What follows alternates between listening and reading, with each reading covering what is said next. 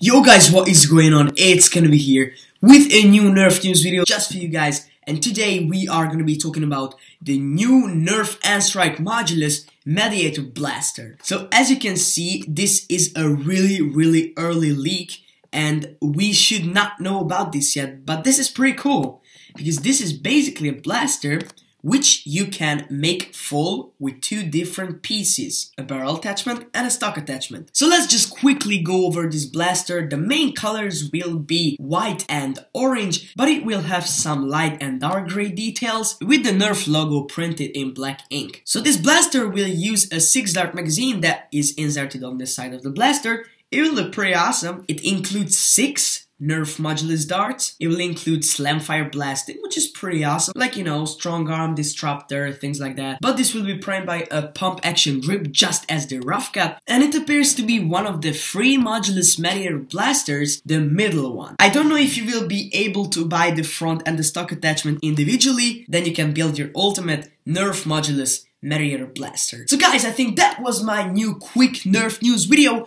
on the Nerf N-Strike Modulus Mediator Blaster. If you like the video, then please drop a like down below.